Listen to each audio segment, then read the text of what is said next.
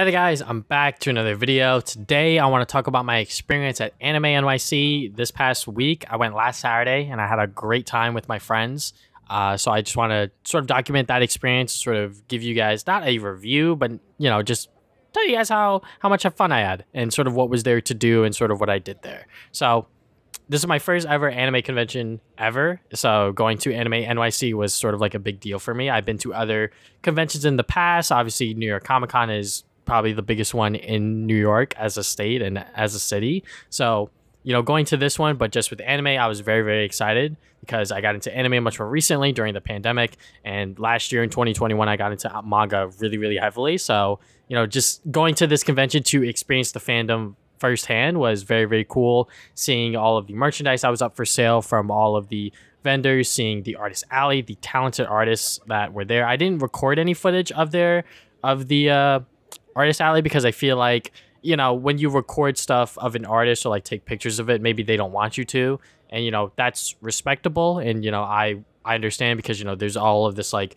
reposting stuff and people don't give credit to like the artist. So I instead of like going through the hassle like, of like trying to go through every single person's, you know, art and try to like credit them accordingly, I just decided to avoid all that. But if you go to any artist alley at any convention, especially big ones like New York Comic Con, Anime NYC, you're gonna see some really talented artists. And I highly recommend you take their sort of business card, follow them on Twitter, Instagram, whatever social media that they're using to show your support for them and yeah, but anyways, the main thing that we did, uh, me and my friends, was just walk around the show floor and just see whatever merchandise that they had for sale. So one of the first big booths that we visited was this booth that had prize anime figures. So if you guys don't know what what a prize figures are, they're pretty much good figures, you know, nice detail, nice sculpt, nice everything for like 20 to 30 dollars, which I think is pretty reasonable for anime figures, especially if you're not willing to spend, you know, hundreds of dollars on them. You know, there are anime figures that are worth that much, and it's kind of crazy that they even exist.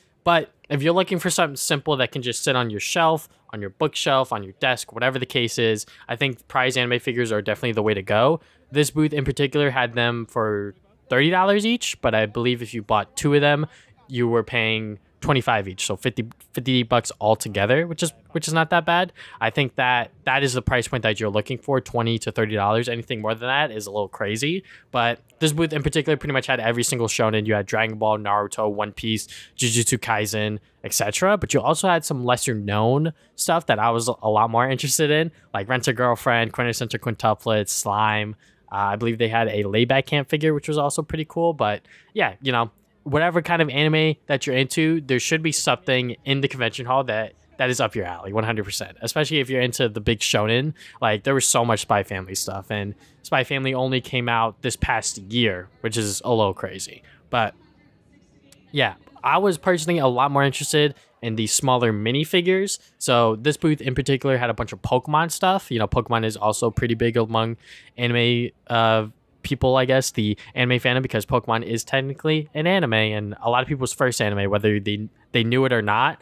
Um, so you know, seeing all of these cute little mini Pokemon figures, but me personally, I was a lot more interested in the anime figures. Like they had Tokyo Revengers, Naruto, Demon Slayer, Spy Family, you know, all of those big hitters. And I'll show you one figure that I bought from this booth because they had something that I was pretty interested in.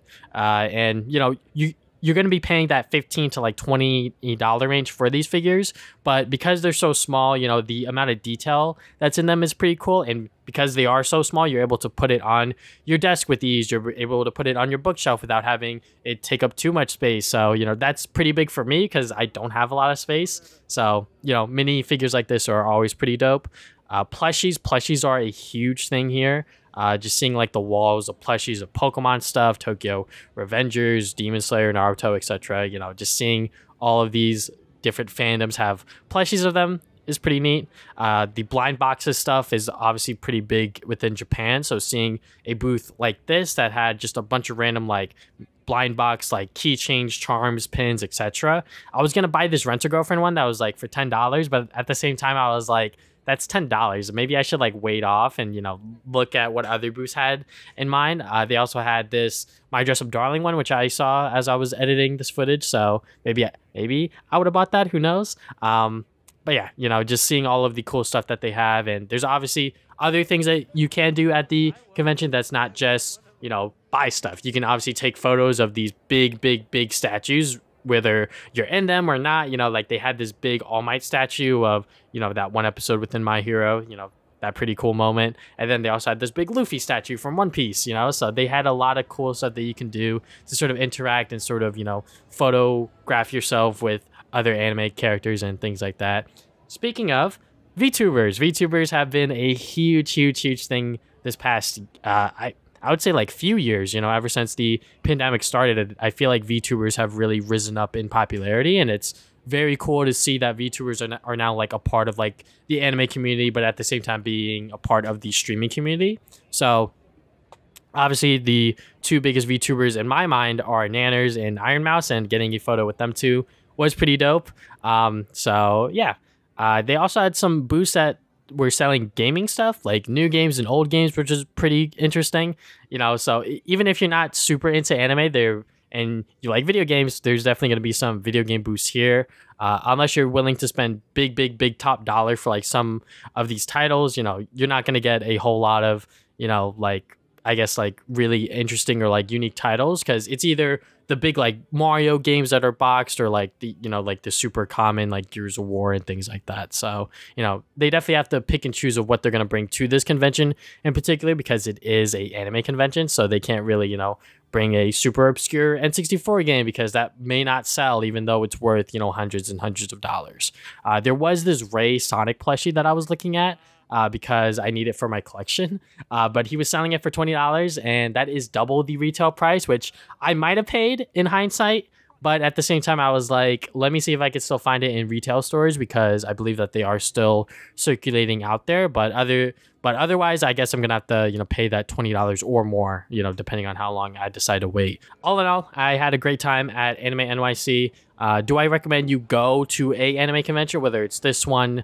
Uh, next year or one within your area, yes, definitely. If you like anime and manga and you love anime, like you should definitely go to one of these conventions, especially with a group of friends if you have one. Like it is so so so much fun just walking around taking photos of each other of like in front of like whether it's just like banners and posters or in front of statues or you know anime cars or whatever the case is you know it is just fun interacting with this you know convention hall and seeing all of the cool stuff that they have for you to look at and take pictures of. Uh, if you're not a big anime fan, I would say it's a maybe. You know, if you have a group of friends that, that do like anime, definitely check it out. You know, maybe you want to go to a different convention that maybe specializes something a lot more of what you're interested in, maybe like a Comic Con or a gaming convention, etc., etc. But um, yeah, like I said, I had a great time. My pickups uh, so first, I got this little Nino figure from Quintessential Quintuplets. Um, I wanted to get something of Quintessential Quintuplets uh, for my collection of you know figurines and whatnot. Uh, they did have a prize figure, but I'm not sure if uh, my mom would liked that one. So you know, I decided to go and get a smaller figure that was a little more you know low key, if you will. Um, so I got that for fifteen dollars, which isn't that bad. You know, all things considered. Like I said, it's a very nice, detailed. Um, minifigure. Uh, and then the other thing I bought was a five dollar manga, and I, you know, if it wasn't five bucks, I honestly wouldn't have bought it. But also because I did watch the anime and I do like the anime adaptation, I want to see how this manga adaptation is because I believe it was originally a light novel. But that is after being rejected, I shaved and took in a high school runaway. Uh, I'm not exactly sure how to pronounce that first word, Hiji Hero. I hope I said that right. But yeah, I watched the anime when it came out, and honestly, it was really, really wholesome and a lot cuter than I thought it was gonna be. You know, the title definitely seems a little sus and a little weird, but trust me, you know, watch the first three episodes on Crunchyroll. If you don't like it, you can drop it. Um, I definitely just bought it because it was five bucks, so I was like, okay, why not? Um, which is more than half off because the, because it does retail for twelve ninety five or something like that. So five dollar manga, why not? You know, I'll give it a shot. But yeah, that is pretty much my experience at Anime NYC. Shout out to Louis, Jeffrey, Damien, and Kofi for tagging along with me. Uh, I really had a great time with you guys. You guys know how much I love you, so shout out to them. Um, but yeah, that is all I have for today. Thank you guys for watching this video. If you guys have not already, you can subscribe by putting new videos up on Saturdays. You can follow me on social media, Facebook and Twitter. Try to put updates my future videos on there. Check out my podcast, the Travis and Damien Podcast, over at anchor.fm slash Travis Damien Podcast. We talk about games, movies, and anime every other week. And yeah, that is that is all I have for today. Thank you, thank you guys for watching this video once again. I'll see you guys next time with more videos.